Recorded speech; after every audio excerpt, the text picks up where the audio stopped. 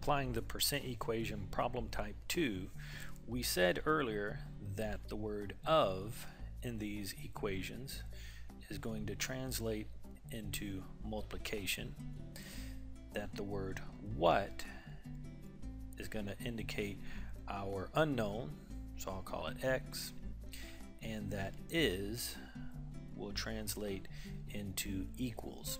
And with these three translations, we can turn the questions that were being asked into equations that we can then solve. So we're going to start off with the first equation there.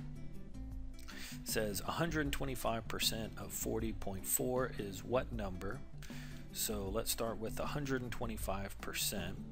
Since that's a percentage and we don't do calculations with percentages, I'm going to convert it to a decimal by moving the decimal two places to the left and make that 1.25. So that's the way I'm going to start, 1.25. Then I see the word of, and I know that means multiply.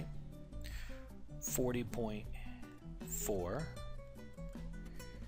is means equal, and then what number, that's my variable.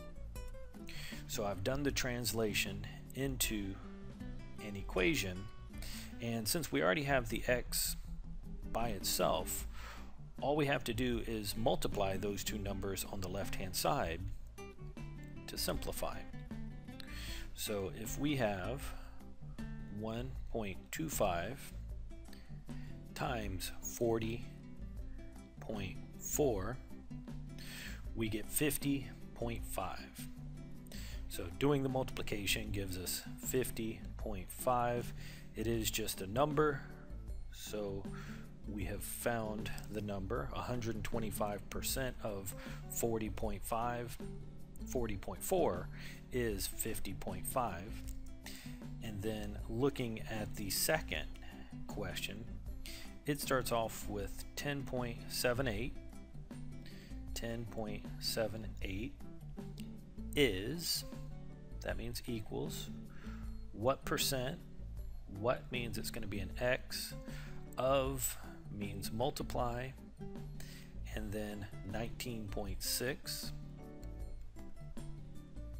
to solve this one for x we're going to need to get that 19.6 over to the other side so we undo multiplication with division.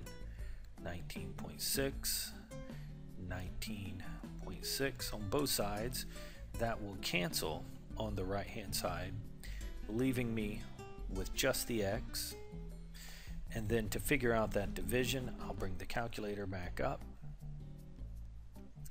And we have 10.78 divided by 19.6 equals 0.55 so 0.55 but we're looking for a percent so we want to go that extra mile and convert this decimal into a percentage by moving the decimal two places to the right. That would give us 55%.